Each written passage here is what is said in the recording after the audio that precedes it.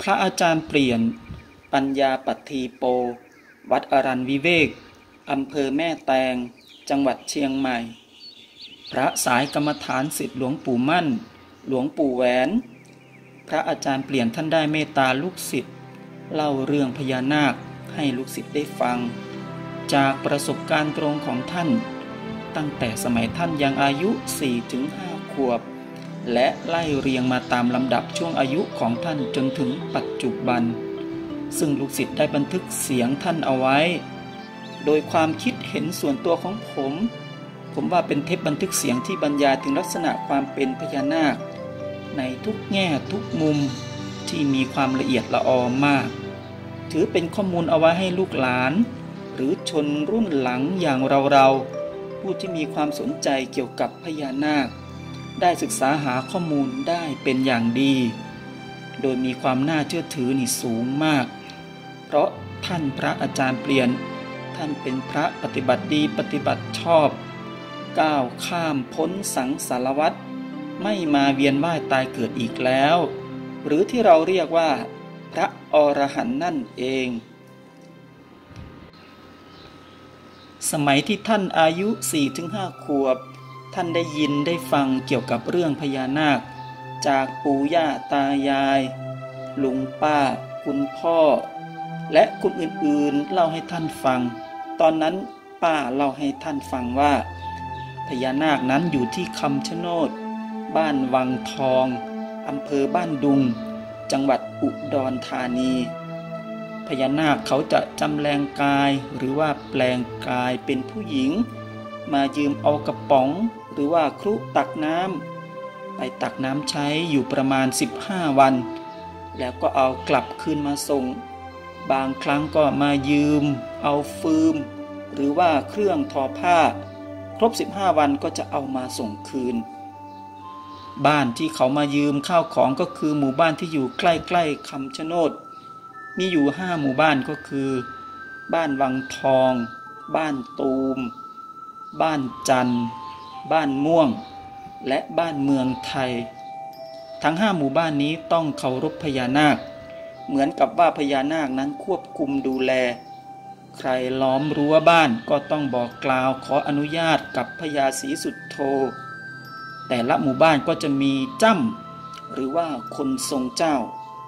ไว้ติดต่อสื่อสารเพื่อที่จะบอกกล่าว ที่ป้าของท่านเล่ามาให้ฟังตามนั้นท่านก็ไม่ได้ปักใจเชื่อแต่อย่างใด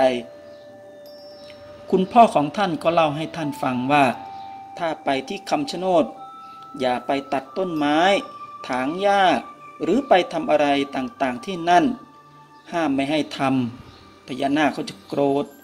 และก็จะมาทำร้าย ลุงกับป้าเล่าให้ท่านฟังอีกว่า ถ้าใครจะไปเอาบุญหรือว่าไปงานบุญ แต่ละหมู่บ้านในละแวกนั้น ห้ามนุ่งห่มเสื้อผ้าหรือว่าสวมหมวกที่มีสีแดง เพราะพญานาคเขาจะโกรธ ถือเป็นการเปรียบเทียบกับงอนของเขาที่มีสีแดง เขาจะทำร้ายบุคคลที่สวมใส่เครื่องแต่งกายสีแดงนั้น ชาวบ้านก็จะถือปฏิบัติกันมาตลอด พ่อท่านเล่าให้ท่านฟังอีกว่า ที่คำชะโนดนั้นเป็นลักษณะที่เป็นดอนอยู่กลางทุ่ง หรือเป็นเหมือนภูเขาเตี้ยๆอยู่กลางทุ่ง มีต้นชะโนด และมีต้นไม้นานาพันธุ์หลากหลายชนิด เช่น ต้นไผ่ต้นปอ หรือว่าหวาย พืชพันธุ์หลายๆ อย่างอยู่ที่นั่น เป็นที่อยู่ของนกนานาชนิด ในคำชะโนดนั้นจะมีหนองบ่อ ในหนองนั้นจะมีปลาเยอะมาก และมีจระเข้หลายร้อยตัว แต่ปลาในหนองบ่อนั้นจะไปทอดแหหรือว่าไปจับเอามากินเป็นอาหารไม่ได้ พญานาคเขาจะโกรธและจะทำร้ายถึงชีวิต มีอยู่ครั้งหนึ่งนายอำเภอบ้านดุง ได้ขับรถจี๊ปตามทางเกวียนแห้งๆ ทางทิศตะวันตกของคำชะโนด จู่ๆรถนั้นก็สุดลงติดลมแล้วเครื่องก็ดับ จะพยายามติดเครื่องยนต์อย่างไร เครื่องยนต์ก็ไม่ติด ท่านนายอำเภอก็เลยบอกกล่าวว่าพญาพญาถ้าทำอย่างนี้ก็ไปไม่ได้แล้วว่าจะไปตรวจตราตามหมู่บ้านต่างๆแถวๆนี้ ขอให้ท่านพญาอย่าทำอย่างนี้เลย พอบอกกล่าวกันอย่างนี้จบ ก็สามารถที่จะติดเครื่องยนต์เดินทางต่อไปได้ หลุมบ่อก็ไม่มี นี่ก็คือพญานาคเขาทำ อีกเรื่องที่เล่าลือกัน ก็คือมีครูสามคนกำลังจะเดินจากบ้านเมืองไทย ผ่านบ้านจันทร์ และผ่านมาทางคำชะโนด ก็มีครูคนหนึ่งพูดขึ้นว่าพญาพญาอยากได้เสมียนเขียนหนังสือไหมสามคนนี้เป็นครูมีแต่คนเก่งๆ พอครูสามคนนั้นเดินทางมาถึงบ้านตูม มีครูคนหนึ่งเกิดอาการปวดหัวอย่างรุนแรง และก็เสียชีวิตลงทันที จึงได้มีการเข้าร่างทรงผู้หญิง แล้วร่างทรงก็บอกว่า เราได้เสมียนเขียนหนังสือแล้ว เราอยากได้มานานแล้ว นี่คือเรื่องที่เล่าลือกันมา ต่อจากนั้นมาก็มีเรื่องที่เกิดขึ้นที่บ้านม่วง ชาวบ้านม่วงนั้นจะล้อมรั้วบ้าน จะต้องมีการบอกกล่าวพญาศรีสุดโทก่อน ถึงจะสามารถทำได้โดยไม่มีเหตุเพศภัยเกิดขึ้น ถ้าหากไม่บอกกล่าวอาจจะไม่สบายหรือว่าเจ็บป่วยขึ้นได้ ในช่วงที่ถึงฤดูน้ำหลาก ในช่วงพักเที่ยงเด็กๆ ก็จะไปเล่นน้ำตามห้วยหนองคลองบึงอยู่เป็นประจำ มีวันหนึ่งเด็กนักเรียนก็จะไปเล่นน้ำที่เดิม ก็ได้เห็นพญานาคชูหัวขึ้นจากน้ำประมาณสองเมตร ขนาดลำตัวเท่าต้นมะพร้าว เด็กๆก็พากันวิ่งกลับมาที่โรงเรียน แล้วก็มาบอกครูว่าพญาศรีสุดโทชูคออยู่ตรงที่เล่นน้ำครูก็เลยออกไปดูตรงจุดที่เด็กได้บอก ก็ปรากฏว่าเห็นจริง ๆ ครูก็เลยไปบอกกับจ้ำหรือว่าคนทรงประจำหมู่บ้าน เพื่อสื่อสารกับพญาศรีสุดโท และได้บอกกล่าวว่าพญาพญาเด็กๆจะลงเล่นน้ำถ้าพญามาอยู่ตรงนั้นเด็กๆเเขากลัว ไม่กล้าลงเล่นน้ำ พอจำบอกกล่าวจบลงพญาศรีสุดโทก็หายวับไปต่อหน้าต่อตา เด็กๆก็ได้ลงเล่นน้ำกันอย่างสนุกสนานและปลอดภัย ไม่มีใครเป็นอะไร และอีกเรื่องที่บ้านม่วง ช่วงที่น้ำขึ้นในแม่น้ำสงคราม เวลาชาวบ้านแจวเรือไป ตามลำน้ำเพื่อที่จะหาหน่อไม้ หาหน่อไว้ตามริมฝั่ง ขณะนั้นเองพญาศรีสุดโท ก็จะลอยคลอขึ้นมาขวางลำน้ำลำตัวยาวใหญ่เท่าต้นตาล หัวอยู่อีกฝั่งหนึ่งหางก็พันไว้กับกอไผ่อยู่อีกฝั่งหนึ่งเหมือนกับเขื่อนน้ำล้น ชาวบ้านก็ได้บอกกล่าวขึ้นว่าพญาพญาลูกหลานจะไปหาหน่อไม้ หาหน่อไว้เพื่อมาอยู่มากิน ขอทางไปหน่อย พูดจบพญาศรีสุดโทก็จมหายลงไปในแม่น้ำ พอชาวบ้านแจวเรือผ่านไปพญาศรีสุดโทก็ลอยฟูขึ้นมาตรงผิวน้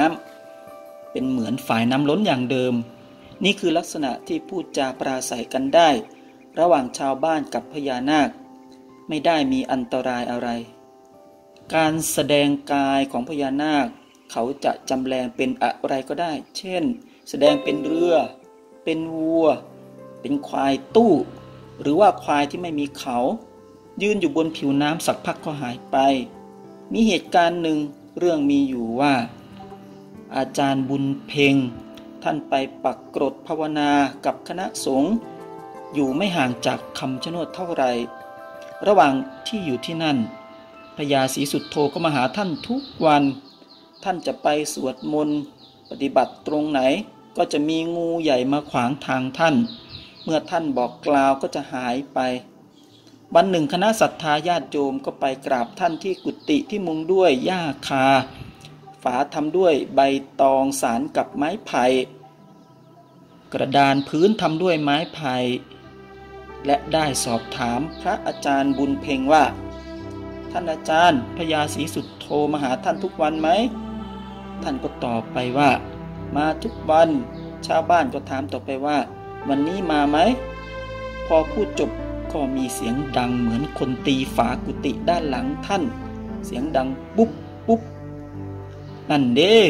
ตีฝากุฏิให้ฟังอยู่นั่น ท่านอาจารย์บุญเพ็งได้พูดขึ้น นี่ก็คือเรื่องที่ท่านพระอาจารย์เปลี่ยนได้ยินได้ฟังมา แต่ท่านก็ไม่ได้เชื่อ เพราะว่าท่านไม่ได้เห็นด้วยตาของตนเอง และท่านก็ไม่ได้เชื่ออะไรง่าย ๆ เป็นนิสัยเดิมอยู่แล้ว จนเมื่อท่านได้มาเห็นกับตาของตนเอง ตอนนั้นท่านพระอาจารย์เปลี่ยนอายุ 16 ปี ท่านได้ไปเที่ยวงานบุญพเวทที่วัดบ้านเมืองไทย ใกล้ถึงวันงานก็มีการเตรียมจัดงานกัน ท่านก็ไปนอนที่บ้านเมืองไทย ตื่นขึ้นมาแต่เช้าตรู่พระอาทิตย์ยังไม่โผล่พ้นขอบฟ้า ท่านกำลังเดินไปที่วัด ระหว่างทางมีหนองน้ำเล็กๆ ซึ่งเป็นน้ำซึมน้ำซับมีต้นเกตอยู่หนึ่งต้น ก็เห็นพญาสีสุดโทมาชูคออยู่ตรงหนองน้ำเล็กๆ นั่น ตัวใหญ่เท่าต้นมะพร้าว ชูคอขึ้นมาสูงประมาณสองเมตร หันหน้าไปทางทิศเหนือ ท่านจึงไปเรียกชาวบ้านมาดูประมาณร้อยี่สิบคนได้ เห็นเกล็ดสีเขียวผสมสีแดงหงอนเป็นสีแดง เกล็ดบางส่วนก็มีสีเขียวผสมสีเหลือง สวยมาก หลังจากนั้นก็ได้พากันไปบอกจ้ำเพื่อมาบอกกล่าวสื่อสารกับพญาศรีสุดโท และได้บอกกล่าวพญาศรีสุดโทว่าพญาพญาทำไมมาอยู่ที่นี่ คนเขาจะมาเที่ยวงานเขากลัว พอพูดจบก็หายแวบไป จากนั้นก็พากันเดินลงไปเหยียบย่ำดูตรงหนองน้ำเล็กๆนั้น เห็นมีแต่ผักแว่นกับหญ้า ต่อจากนั้นพอตกกลางคืนมา หลังจากกลับมาเที่ยวจากที่งานวัด ประมาณห้าทุ่ม ท่านกลับมานอนที่บ้านเพื่อน พอถึงประมาณตีหนึ่งตีสองก็ได้ยินเสียงรถจิ๊บเสียงกระดิ่งรถจักรยานดังไปตามถนนดินทรายในหมู่บ้าน สมัยนั้นเขาใช้ไม้ไผ่ลำใหญ่ ๆทำรั้วบ้าน พอตื่นเช้ามาดูก็เห็นแต่รอยรถยนต์กับรอยรถ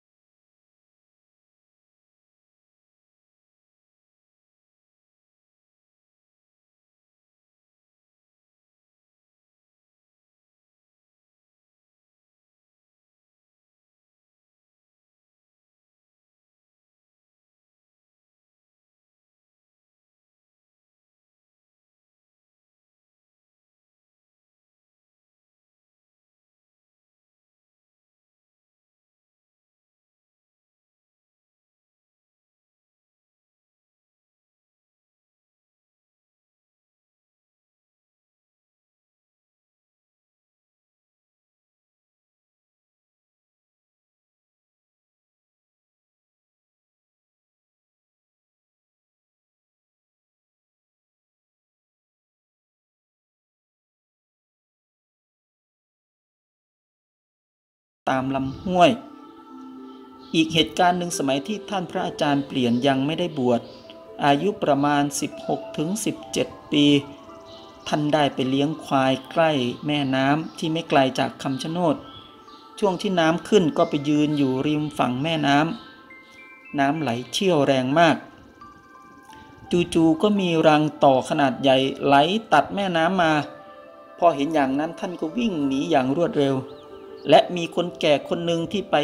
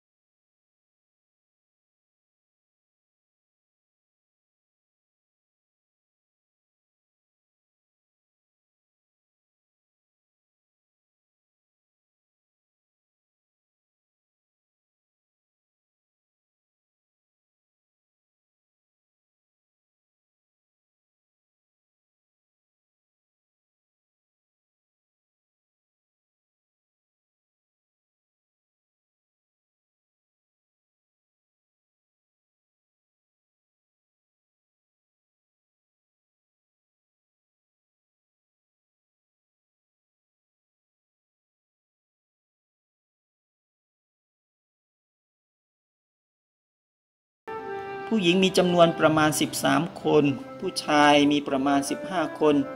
เล่นน้ำกันผ่านไปเป็นเวลาพอสมควรแล้ว ครูก็เริ่มเช็คจำนวนนักเรียน ปรากฏว่า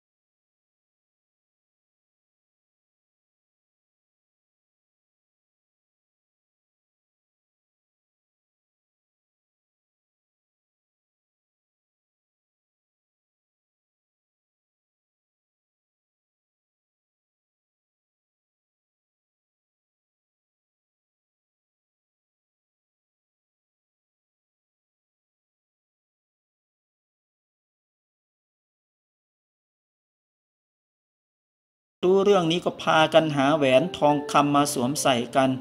ตอนนั้นทองคำบาทหนึ่งราคาประมาณ 400 บาทสำหรับคนที่เห็นก็จะเชื่อ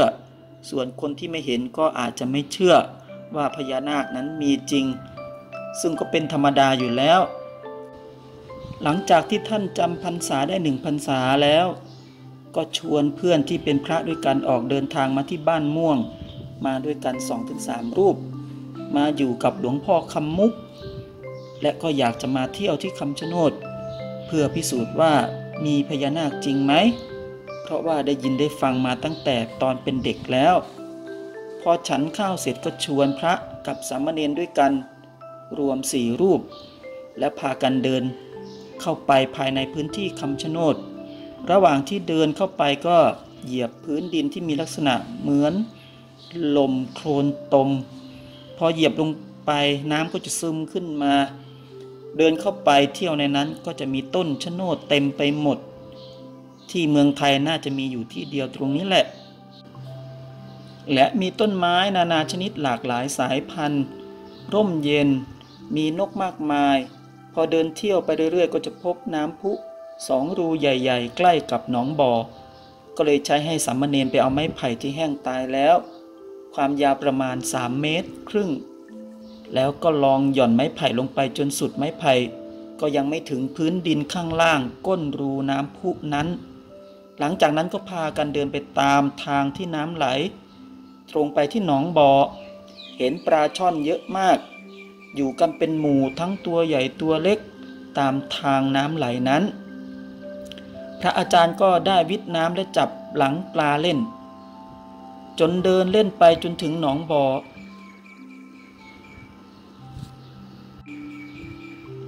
พ่อของท่านพระอาจารย์เปลี่ยน ท่านก็เคยเล่าให้ฟังตอนเป็นเด็กว่า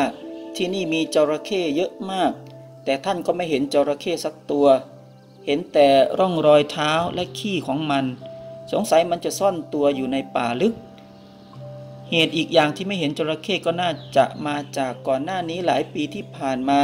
มีเท่าแก่จากกรุงเทพมารับซื้อหนังจระเข้ที่เมืองอุดรธานีทำให้มีการล่าจระเข้เพื่อเอาหนังมาขายนั่นเองทำให้จระเข้แทบจะสูญพันธุ์แล้วทำไมพญาศรีสุดโทไม่ทำร้ายผู้ที่มาล่าจระเข้ในคำชะโนด เรื่องมีอยู่ว่า ระหว่างช่วงนั้นพญาศรีสุดโทและเหล่าทหารเมืองคำชะโนด ไปออกรบทำสงครามกับพญานาคทางเมืองเขมร อยู่ถึงสามปี ถึงได้กลับมา พอมาถึงวังคำชะโนดปรากฏว่าจระเข้หายไปหมดพญาศรีสุดโทรู้สึกเสียใจและโกรธมาก เพราะจระเข้นั้นเปรียบเหมือนกับเรือของพญานาค ถ้าเป็นตะภาพน้ำก็จะเปรียบเหมือนกับควายของพญานาคพญาศรีสุดโทก็เลยออกตามหาผู้ที่มาล่าจระเข้ที่คำชะโนด และรู้ว่า เป็นหมอผีจากทางจังหวัดอุบลราชธานี ตามไปถึงอุบลไปสู้กับหมอผีที่เป็นมนุษย์นั้น แต่พญาศรีสุดโทสู้มนุษย์ไม่ได้ ก็เลยส่งทหารสี่คนไปเรียนเวทมนต์ที่เขมร หลังจากไปเรียนเสร็จกลับมา ก็ไปสู้กับมนุษย์ที่เป็นหมอผีที่อุบล ก็พ่ายแพ้กลับมาอีก หลังจากนั้นก็เลยไปตามหาคนในละแวกใกล้ๆคำชะโนด ที่ไปให้ความร่วมมือกับหมอผีอุบลในการล่าจระเข้จนไปเจอคนที่ร่วมมือนั้นอยู่ที่บ้านดอนกลอย ซึ่งอยู่ทางทิศตะวันตกเฉียงเหนือของบ้านเมืองไทย มีจำนวนครัวเรือนอยู่ประมาณ 10-20 หลังคาเรือนพญาศรีสุดโทก็ไปทำร้ายคนในหมู่บ้านดอนกลอยล้มตายกันเกือบทั้งหมู่บ้าน เหลือผู้รอดชีวิต 11 คน 11 คนนั้นก็ได้หนีมาอยู่ที่บ้านเมืองไทย บ้านดอนกลอยก็เลยกลายเป็นบ้านร้างไปในที่สุด นี่ก็มีคนเล่าถึงสาเหตุที่จระเข้หายไปจากคำชะโนด ย้อนมาที่ตอนท่านพระอาจารย์เปลี่ยนกับพระและสามเณรสี่รูป พากันเที่ยวชมภายในบริเวณคำชะโนด แล้วก็ได้พากันออกมาจากคำชะโนดผ่านทุ่งนา และก็จะมีหนองน้ำใกล้ๆกันนั้น ก็มองไปเห็นนกกระสุมหลายตัว แล้วก็พากันเดินไปหาฝูงนกกระสุมนั้น แล้วนกกระสุมก็พากันตกใจบินหนีไปหมด เหลือเพียงนกกระสุมใหญ่ตัวเดียว ยืนอยู่ตรงหนองน้ำนั้น แล้วนกตัวนั้นก็เดินไปเดินมา แล้วก็เดินขึ้นมาบนบก พระทั้งสามรูปและก็เนนหนึ่งรูปก็พากันตีวงล้อมนกกระสุมตัวนั้นไว้ ก็พากันสงสัยว่าทำไมนกตัวนี้มันไม่บินหนีไปกับฝูงของมัน ทำตัวเฉย เหลียวหน้าเหลียวหลัง หลังจากนั้นก็ให้สัมมาเนนไปหา ไม้มาลองเขี่ยเขี่ยดู เปิดดูปีกสิก็ไม่เห็นร่องรอย การบาดเจ็บหรือว่ามีร่องรอยถูกลูกธนู ร่องรอยของรูกระสุนปืน หรือรอยบาดแผลอะไรที่ทำให้นกบินไปไม่ได้ ก็ไม่เห็นจะมีร่องรอยเหล่านั้นแต่อย่างใดเลย สักพักนกตัวนั้นก็บินขึ้นไปประมาณ 6 เมตร แล้วก็หายไป ท่านพระอาจารย์เปลี่ยนก็เลยสันนิษฐานกันว่าน่าจะเป็นพระยาศรีสุดโทจำแรงกายมาเพื่อทดสอบพระว่าจะทำร้ายนกไหม มีศีลธรรมหรือว่ารักษาศีลได้ไหม จากนั้นก็พากันเดินต่อไปที่ลำห้วย ไปชมปลาซึ่งมีเยอะมาก เพราะคนไม่กล้ามาจับปลาแถวนั้น หลังจากนั้นก็พากันเดินกลับมาที่วัดบ้านม่วง พอมาถึงวัดก็มาเล่าให้หลวงพ่อคำมุกฟัง หลวงพ่อท่านก็เล่าเสริมให้ฟังว่า หลวงพ่อเกิดที่บ้านคำม่วงนี้ ก็รู้มานานแล้วเกี่ยวกับพญาศรีสุดโท ซึ่งพูดคุยกันได้ ถ้าไม่ไปทำอะไรผิดร้ายแรงพญานาคเขาก็ไม่ไปทำร้ายใครง่าย ๆหรอก คนเฒ่าคนแก่ก็เล่าต่อๆกันมาให้ฟัง หลังจากนั้นพระอาจารย์เปลี่ยนก็ปฏิบัติภาวนามาเรื่อยๆ ก็ไม่ได้เห็นพญานาคอีกเลย จนกระทั่งท่านมาอยู่ที่วัดอรัญญวิเวกอำเภอแม่แตงจังหวัดเชียงใหม่แห่งนี้ ตอนนั้นพศ 2507 ตอนนั้นอยู่คนเดียวในเวลาหัวค่ำก็เดินจงกรมอยู่ข้างกุฏิสองหลัง อีกหลังหนึ่งนั้นใครจะไปนอนก็ไม่ได้ ผีดุมาก ท่านก็ตั้งใจจะไปนอนที่กุฏิหลังนั้น เดินจงกรมอยู่ ตอนนั้นยังไม่มืด ก็เหมือนมีอะไรมาเขย่าต้นเมาที่เหนือสุดทางเดินจงกรมนั่น ลักษณะเหมือนควายมาชนต้นไม้นั่น แต่ก็มองไม่เห็นตัวอะไร แต่ท่านก็รู้สึกเฉยๆไม่ได้กลัวอะไร ก็เดินจงกรมไปเรื่อยๆ จนมืดค่ำจู่ๆก็มีแสงสว่างพวยพุ่งขึ้นใกล้ทางเดินจงกรม พอท่านเดินเข้าไปดูใกล้ๆ แสงนั้นก็หายวูบไป แต่พอท่านเดินห่างออกมาแสงนั้นกลับเจอจ้าขึ้นมาอีกเหมือนเดิม แสงนั้นจะคล้ายๆกับแสงของตะเกียงเจ้าพายุ หลังจากนั้นท่านก็เดินขึ้นไปกุฏิไปนั่งพัก ไหว้พระสวดมนต์นั่งสมาธิ ในลักษณะกึ่งพักผ่อน ระหว่างในสมาธินั้นก็เห็นคนแก่สองคน อายุประมาณ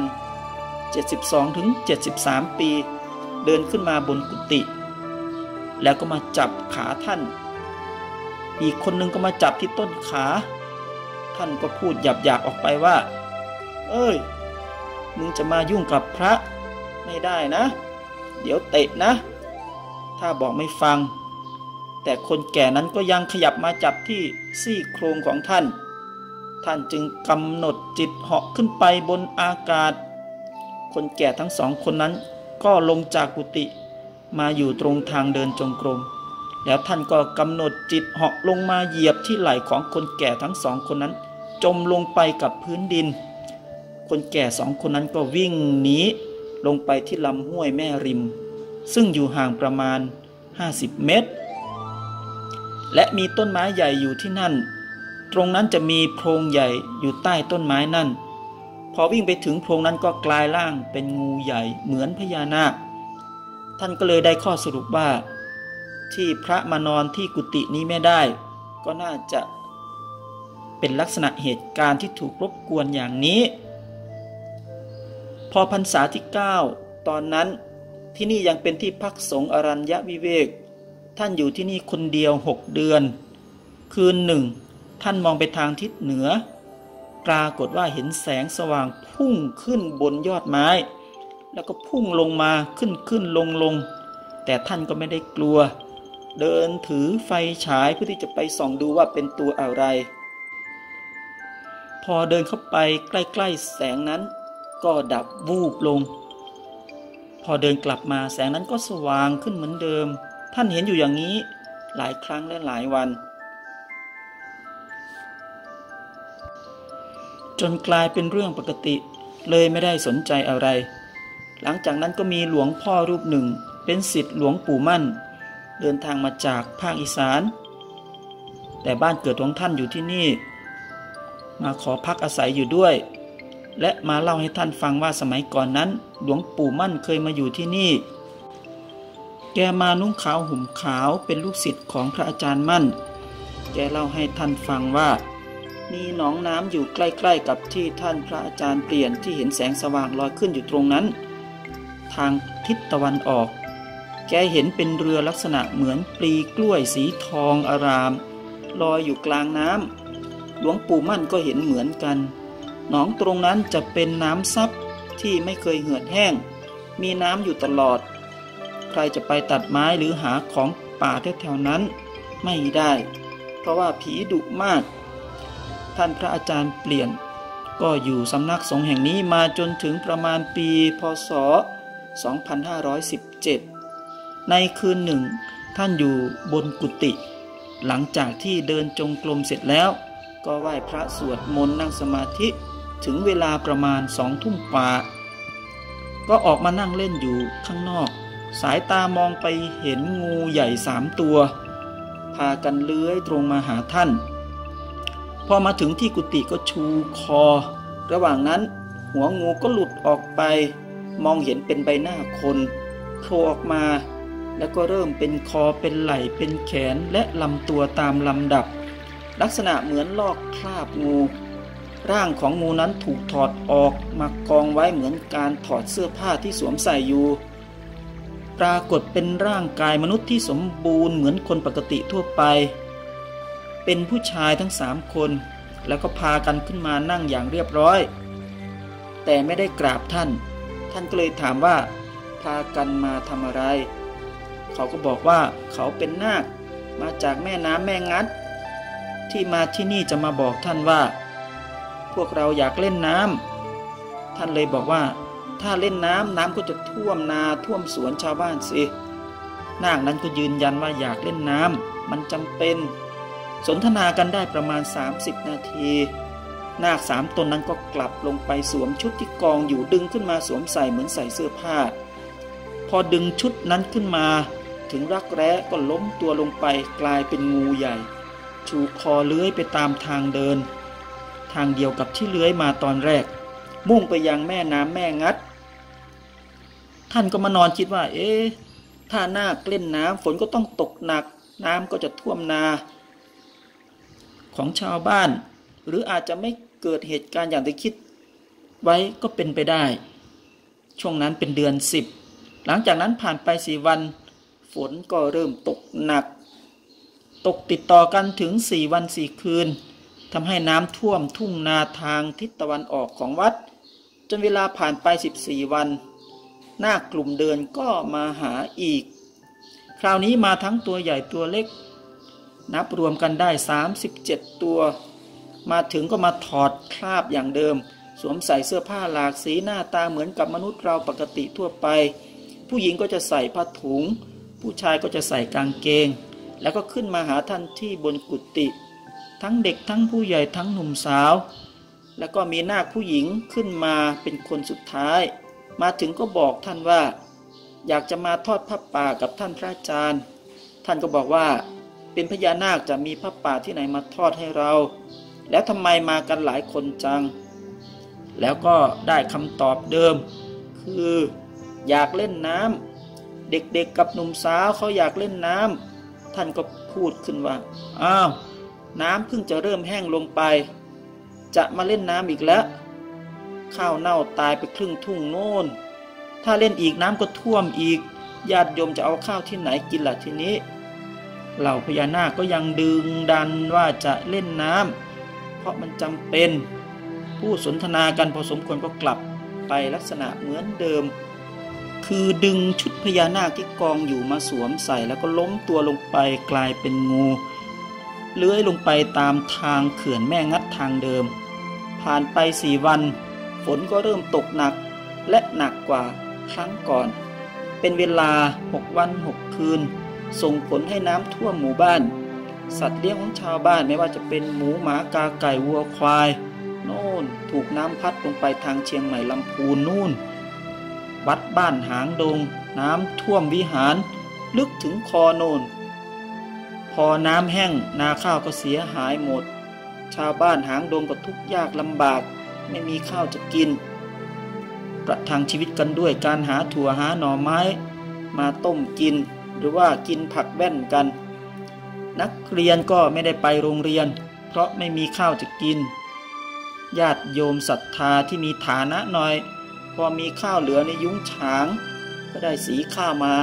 ทำอาหารถวายที่วัดก็พอประทังชีวิตอยู่รอดมาได้ อีกเหตุการณ์ต่อมา วันหนึ่งท่านพระอาจารย์เปลี่ยน ท่านได้ตักน้ำใส่โอ่งน้ำดื่ม เตรียมเอาไว้ฉันหลังฉันข้าว เป็นโอ่งมังกร เพราะตอนนั้นไม่มีแท้งน้ำระหว่างนั้นได้ยินเสียงดังป้องแป้งป้องแป้งก็ไปเปิดฝาโอ่งดู ปรากฏว่ามีงูอยู่สามตัว สีดำสีน้ำตาล สีเขียวกำลังดำน้ำอยู่ใต้ก้นโอ่งดำผุดดำว่าอยู่อย่างนั้น ก็เลยสงสัยคิดในใจ งูอะไรมาเล่นน้ำเราอุตส่าห์ตักน้ำแล้วก็กรองใส่ไว้อย่างดี เพื่อเอาไว้ฉัน ท่านก็เลยตะแคงโอ่งให้น้ำไหลออก แล้วเอาเชือกผูกคองูสามตัวนี้ใส่ถุงกระดาษ แล้วให้โยมจันขับรถหกล้อ พาท่านเอางูงูไปปล่อย ไกลๆ เลยบ้านตาก้วงไปอีก หลังจากปล่อยงูเสร็จโยมจันก็ขับรถมาส่งท่านที่วัด หลังจากนั้นประมาณหนึ่งชั่วโมงครึ่ง ก็ไปเจองูสามตัวนอนกองกันอยู่ในห้องน้ำ ท่านก็ปล่อยไว้อย่างนั้นแหละพอถึงเวลาจะอาบน้ำไปถึงห้องน้ำงูสามตัวนั้นก็หายไปแล้ว หลังจากนั้นสี่วันก็ได้ยินเสียงดังป้องแป้งป้องแป้งในโอ่งน้ำดื่มอีกแล้ว ไปเปิดดูก็หางพันกันฟูอยู่บนผิวน้ำส่วนหัวก็ดำอยู่ในน้ำท่านก็เลยตะแคงโอ่งให้น้ำไหลออก แล้วหาไม้สอด ใต้หางที่มันพันกันอยู่ เอาใส่ถุงกระดาษอันเก่านั่นแหละ แล้วก็บอกโยมให้เอารถคันเก่านั่นแหละมา แล้วไปปล่อย แล้วก็กลับมาที่วัดอีกชั่วโมงหนึ่งก็ไปเจอนอนกองกันอยู่ในห้องน้ำเหมือนเดิม หลังจากนั้นท่านก็ไม่ยุ่งและก็ไม่ได้จับไปปล่อยอีก แต่หลังจากนั้นงูสามตัวก็ไม่ได้ไปเล่นน้ำในโอ่งอีกเลย แต่บางวันก็เห็นนอนขดอยู่ในห้องน้ำท่านก็คิดว่าคงจะเป็นพญานาคมาจากแม่น้ำแม่งัด ต่อมาปีพศ 2520 ทางการไฟฟ้าฝ่ายผลิตมาสำรวจแม่น้ำแม่งัดเพื่อที่จะสร้างเขื่อน แล้วเริ่มสร้างเขื่อนแม่งัด ก็มีการปิดกั้นทางน้ำเดิม แล้วระหว่างการก่อสร้างนั้นมีคนงานเสียชีวิตไปหลายคน ท่านเองก็ได้ไปสวดในงานศพให้ ถึงขั้นตอนที่ต้องขุดร่องน้ำให้ไหลมาทางท่อเข้าเครื่องปั่นกระแสไฟฟ้า ก็ต้องปิดกั้นทางไหลเดิมของน้ำนายช่างอำนวย ซึ่งเป็นหัวหน้าช่างก็เคยมารับท่านไปดูในพื้นที่ปฏิบัติงานอยู่ ในคืนหนึ่งท่านกำลังจะเข้าพักผ่อนท่านก็เหลือไปเห็นงูใหญ่ไม่มีงอน ขนาดลำตัวเท่ากับขาท่อนบน ยาวประมาณ 20 เมตร ชูคออยู่ใกล้ๆเก้าอี้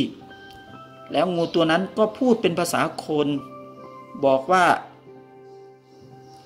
เขาจะฆ่านายช่าง เพราะนายช่างไปปิดทางเดิน ที่เขาใช้สัญจรมานมนาน จะมาเปลี่ยนทางน้ำให้ไปเข้าท่อเล็กๆ มันจะไปลำบาก แถมยังมีตาข่ายเหล็กมาปิดไว้อีก ท่านก็พูดบอกไปว่า อย่าไปทำอย่างนั้นไม่ได้นะ นายช่างเป็นลูกศิษย์เรานะ เดี๋ยวไล่หนีไม่ให้อยู่ที่นี่นะ ท่านพูดขู่ไปอย่างนั้น งูตัวนั้นก็พูดต่อไปว่า ถ้าจะฆ่ามนุษย์จะยากอะไร เอาหางตีทีเดียวก็ตายแล้ว ไม่ต้องไปรัดคออะไรเลย จะตีน้ำให้สูงขึ้นหกเม็ดก็ยังได้ พอพูดเสร็จก็เลื้อยลงไป หลังจากนั้นท่านก็ไปบอกเรื่องนี้กับนายช่างอำนวย แต่ท่านก็บอกต่อไปว่าให้นายช่างทำงานต่อไปให้เสร็จ เพราะว่าได้บอกพญานาคไว้แล้วว่า อย่ามาทำนายช่าง ต่อมามีนายช่างมานิดซึ่งเป็นช่างซ่อมรถที่ใช้ในโครงการทำเขื่อนแห่งนี้ มาบ่นให้ท่านฟังว่ารถมักจะเสียบ่อย จนเหนื่อยที่จะซ่อม บางทีเหมือนจะมีอะไรมาปลดเกียร์รถรถเคลื่อนชนกันเองก็มี วันหนึ่งจู่ๆรถก็ล้มมาทับคนงานตาย กว่าจะทำเขื่อนแม่งัดเสร็จคนงานตายไป 26ศพหลังจากนั้นผ่านไปหนึ่งปี ในคืนหนึ่ง ท่านได้ยินเสียงเหมือนเสียงคนงัดกุฏิท่านพระอาจารย์ป้อม ตอนนั้นพระป้อมไม่อยู่ไปเมืองอุดร ท่านก็เลยถือไฟฉายไปเดินไปดู ระหว่างทางเดินนั้น มองเห็นงูนอนขดขนาดลำตัวเท่าหน้าแข้ง ขดห้าชั้น เอาหัวสอดไว้วงกลางของขด ยกคอชู หันหน้าไปทางทิศเหนือ มีหงอนยาวประมาณคืบหนึ่งอยู่บนหัว ปากงับอยู่ ตานั้นใหญ่ เกล็ดเป็นสีเหลืองผสมสีเขียวสวยงามมาก ท่านก็ยืน ฉายไฟดูอยู่ แล้วบอกกับพญานาคนั้นว่าอย่าพึ่งไปไหนนะ เดี๋ยวไปเอากล้องก่อน เพราะว่าท่านมีกล้องจากที่โยมอยากเห็นพญานาคเลยซื้อกล้องใส่ฟิล์มเตรียมไว้ให้ท่าน แล้วท่านก็ไปเอากล้องที่กุฏิพอท่านกลับมายังจุดที่เจอพญานาค แต่ว่าไม่เห็นตัวพญานาคนั้นแล้ว ท่านก็เลยเดินหาไปทั่วบริเวณนั้น เดินไปดูในห้องน้ำก็ไม่มี บางทีมีเหตุการณ์พญานาคมาที่กุฏิท่าน มีลักษณะเหมือนงูตัวเล็กบ้างใหญ่บ้าง มีเสียงเคาะประตูบ้าง หายตัวให้ดูเหมือนควันบุหรี่ก็มี เหตุการณ์ที่ท่านประสบพบเจอพญานาคนี้ ท่านมีโอกาสได้เล่าให้หลวงปู่แหวนฟัง หลวงปู่แหวนก็เล่าให้ท่านฟังว่า เมื่อสมัยที่หลวงปู่แหวนท่านทุดงกับหลวงปู่มั่น ตอนปฏิบัติธรรมอยู่ที่ถ้ำดอกคำอำเภอพร้าวจังหวัดเชียงใหม่ ระหว่างที่หลวงปู่มั่น ไปที่ดอยแม่ปัง ก็ได้สั่งให้หลวงปู่แหวนอยู่ที่ถ้ำดอกคำให้ภาวนาอยู่ที่นี่ครบเจ็ดวัน แล้วค่อยตามหลวงปู่มั่นไปที่ดอยแม่ปัง และมีหลวงปู่ขาวไปกับหลวงปู่มั่นด้วย หลวงปู่แหวนก็เลยอยู่ที่ถ้ำดอกคำรูปเดียว คืนหนึ่ง หลวงปู่แหวนเจอพญานาคชูคออยู่ต่อหน้าหลวงปู่ ตั้งแต่หัวค่ำยันสว่างไม่ไปไหนเลย จนเวลาล่วงเลยผ่านไปสี่คืนสี่วัน หลวงปู่แหวนก็ไม่ลุกไปไหนเหมือนกัน จนหลวงปู่แหวนทนไม่ไหว ต้องเดินออกจากถ้ำดอกคำเพื่อมาหาหลวงปู่มั่นที่ดอยแม่ปังพอหลวงปู่มั่นเห็นหลวงปู่แหวนมาหา ก็เลยพูดขึ้นมาว่า มาทำไมยังไม่ครบเจ็ดวันเลย หลวงปู่แหวนก็เลยเล่าให้หลวงปู่มั่นฟังว่า มีพญานาคมาชูคอใส่ห่างจากท่านไม่ถึงหนึ่งช่วงแขน ท่านก็นั่งพิงผนังถ้ำไม่ได้หลับไม่ได้นอนเลย หลวงปู่มั่นก็เลยบอกหลวงปู่แหวนว่า ไม่เป็นไร ไปกลับคืนไป หลวงปู่แหวนก็ต้องทำตามคำสั่งหลวงปู่มั่น กลับคืนมาที่ถ้ำดอกคำ และภาวนาอยู่อีกสามคืน แต่ก็ไม่เจอพญานาคตัวนั้นแล้ว และหลวงปู่แหวนก็เดินทางมาหาหลวงปู่มั่น หลวงปู่มั่นก็เล่าให้หลวงปู่แหวนฟังว่าที่ถ้ำดอกคำนั้น มีพระอรหันต์มานิพพานอยู่ที่นั่นสี่รูปนะ หลังจากนั้นท่านพระอาจารย์เปลี่ยนก็ได้ฟังเรื่องราว ของพญานาคจากหลวงปู่ตื้อเล่าให้ฟัง หลวงปู่ตื้อเล่าว่า ตอนที่ท่านอยู่วัดบ้านห้วยน้ำเย็น เห็นเป็นงูใหญ่ตรงห้วยน้ำเย็น และท่านพระอาจารย์เปลี่ยนก็เล่าต่อไปว่า เมื่อปีพศ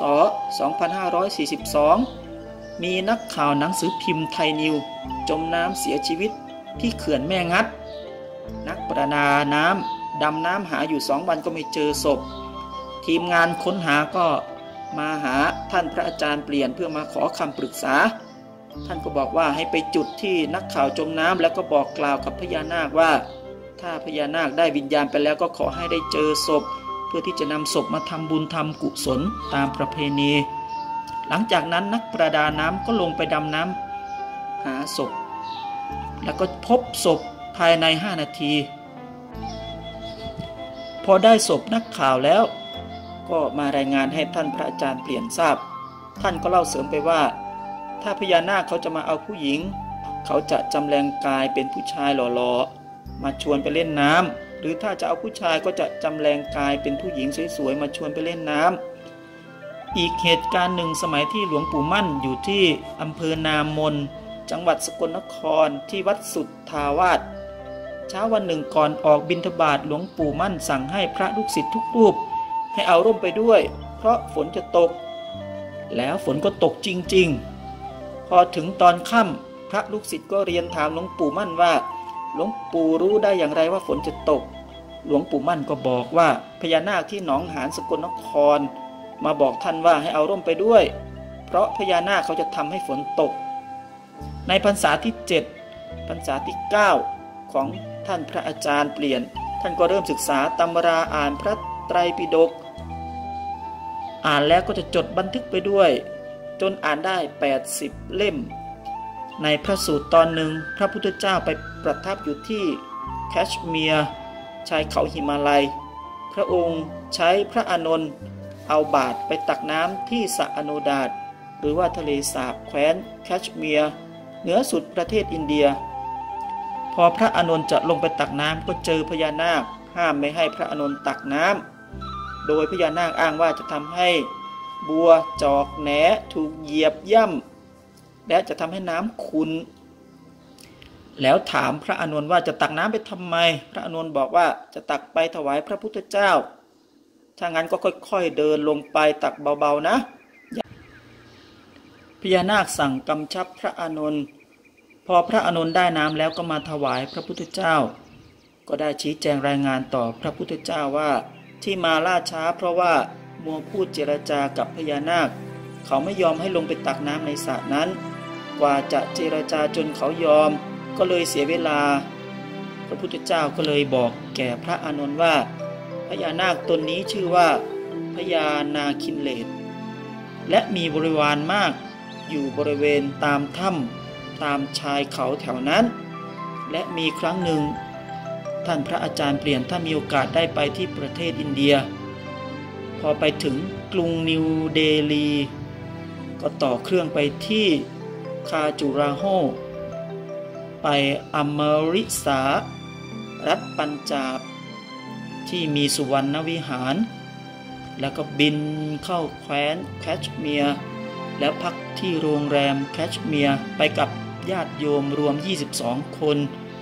พอวันที่สามก็พากันลงเรือเที่ยวที่ทะเลสาบดาน เมืองศรีนาคา แคว้นแคชเมียร์ ท่านก็ไปถามคนขายของที่นั่นว่า ในทะเลสาบแห่งนี้มีพญานาคไหม ผู้หญิงอายุประมาณ 40 ก็ตอบท่านว่า มี ท่านถามต่อไปว่า พญานาคนั้นชื่อนาคินเลตใช่ไหม เขาก็ตอบว่าใช่ ทำไมท่านรู้ เขาถามท่านพระอาจารย์เปลี่ยนกลับคืนมา สมัยพุทธกาล เรียกทะเลสาบนี้ว่าสระอโนดาตตั้งอยู่ในหุบเขาหิมาลัย ที่ในพระวินัยได้บัญญัติไว้ว่า ห้ามพระภิกษุสงฆ์ฉันเนื้องู คงเป็นเพราะพญานาคมาบอกพระพุทธเจ้าไว้ นี่เป็นความคิดเห็นส่วนตัวของท่านพระอาจารย์เปลี่ยน เพราะงูนั้นเป็นตระกูลเดียวกันกับพญานาค หรือเป็นบริวารของพญานาคนั่นเอง ช่วงที่พระอาจารย์เปลี่ยนได้ท่องเที่ยวที่แคชเมียร์เข้าสู่วันที่ 6 หลังจากหลับพักผ่อนท่านก็ได้ตื่นขึ้นมานั่งสมาธิอยู่ที่เรือ ท่านได้เพ่งจิตตรวจตราดูในทะเลสาบดาล เพราะความอยากรู้ว่าพญานาคนาคินเลตอยู่ตรงไหน ก็ไปเห็นถ้ำที่อยู่ห่างจากค่ายทหารประมาณ 113 เมตร เป็นลักษณะเมืองใหญ่ของพญานาคินเลตอยู่ตรงนั้น แล้วท่านก็เล่าย้อนมาที่สมัยท่านอยู่กับหลวงปู่เทศที่วัดหินหมากเป้งอำเภอศรีเชียงใหม่จังหวัดหนองคาย หลวงปู่เทศเล่าให้ท่านฟังว่า บางทีท่านรับกิจนิมนต์ของญาติโยมทางฝั่งลาว ระหว่างที่ท่านจะข้ามแม่น้ำโขง จะมีพญานาคจำแรงกายเป็นเรือจำแรงกายเป็นคนพายเรือ พาท่านข้ามไปที่ฝั่งลาวที่เวียงจันทร์ ขากลับก็รับท่านมาส่งที่วัดหินหมากเป้งตามเดิม หลวงปู่ชอบ หลวงปู่แหวน หลวงปู่ตื้อ ท่านเหล่านี้จะรู้ดีเรื่องพญานาค เพราะท่านประสบพบเจอด้วยตัวเอง ท่านพระอาจารย์เปลี่ยนท่านก็ลองเปรียบเทียบลักษณะที่อยู่อาศัยของพญานาค เหมือนกับบ้านเมืองของมนุษย์ ว่าที่คำชะโนดนั้นก็เหมือนเมืองใหญ่หรือว่าเมืองหลวงของพญานาค เปรียบได้กับกรุงเทพมหานคร เมืองพญานาคที่หนองหานสกลนคร ก็เปรียบได้กับนครราชสีมา คือเป็นหัวเมืองขนาดรองลงมา ส่วนเมืองพญานาคที่หนองหานกุมภวาปีอุดร ก็เปรียบเหมือนกับเมืองขอนแก่น เมืองพญานาคตามเขื่อนภูมิพลเขื่อนอุบลรัฐ ก็เปรียบเหมือนกับจังหวัดทั่วๆไปของเมืองขนาดรองลงมา ที่เขื่อนแม่งัด ก็มีขนาดเท่ากับเมืองลำปาง ตามแม่น้ำตามทะเลก็มีพญานาคอยู่เหมือนกัน ในแต่ละประเทศทั่วโลกก็มีพญานาคเหมือนกัน อยู่คนละมิติกับเมืองมนุษย์ มีจิตวิญญาณเหมือนกับมนุษย์ พญานาคที่ประเทศจีนก็คือมังกรนั่นเอง ในส่วนของพญานาคในประเทศไทยกับประเทศลาวนี้พญาศรีสุดโทเป็นผู้ปกครองควบคุมดูแล ย้อนมาที่พุทธประวัติหนึ่งในสิบชาติ สุดท้ายของพระพุทธเจ้า ก็คือมีชาติที่พระองค์เสวย พระชาติเป็นพญานาคกุริทัตตะ และก็เรื่องที่พญานาคมาขอบวช แต่พระพุทธเจ้าก็ไม่อนุญาต และเรื่องพญามุจลินนาคราชแผ่พังพาน ป้องกันฝนให้พระพุทธเจ้า ท่านพระอาจารย์เปลี่ยนเล่าถึงประสบการณ์ ทดลองอธิษฐานจิตให้พญานาคทำให้ฝนตก ปรากฏว่าฝนตกลงมาจริงๆ ทั้งที่กรุงปักกิ่งประเทศจีน ที่ซิดนีย์ที่เมเบิร์น ประเทศออสเตรเลีย ซึ่งท่านพระอาจารย์เปลี่ยนก็ได้บอกกับลูกศิษย์ลูกหาทิ้งท้ายเอาไว้ว่า พญานาคก็มีจิตใจเหมือนกับมนุษย์ คือบางคนมีจิตใจดีงาม บางคนก็มีจิตใจที่โหดร้าย การที่เราจะเชื่ออะไรก็ขอให้ใคร่ครวญพินิษพิจารณาให้ดีเสียก่อน อย่าไปหลงเชื่ออะไรง่ายๆ เราเกิดมาเป็นมนุษย์ที่สมบูรณ์แล้ว การบอกกล่าวสื่อสารกันธรรมดาปกติไม่ควรไปเบียดเบียนกัน และก็ไม่ควรไปกราบไหว้เคารพบูชา เพราะเขาเป็นสัตว์เดรัจฉานครึ่งมนุษย์ครึ่ง ควรศึกษาให้เข้าใจพูดจาปราศัยกับเขาให้ดี ถึงจะเหมาะสมกับการที่เราได้เกิดมาเป็นมนุษย์ สิ่งที่มนุษย์เราควรบูชาก็คือ บิดามารดา พระพุทธพระธรรม พระสงฆ์นั่นคือสิ่งที่ควรบูชากราบไหว้ ขอให้พวกเราตั้งใจอบรมจิตภาวนา ให้จิตใจเกิดแสงสว่าง ก็จะได้เข้าถึงภพภูมิต่างๆ ของจิตวิญญาณที่เวียนว่ายตายเกิด พอเห็นถึงตรงนี้แล้วเราก็ถึงจะเข้าใจตามเหตุตามผล ตามความเป็นจริงต่างๆ ตามหลักของพระพุทธศาสนา ที่องค์สมเด็จพระสัมมาสัมพุทธเจ้า ท่านได้ทรงอบรมสั่งสอนเอาไว้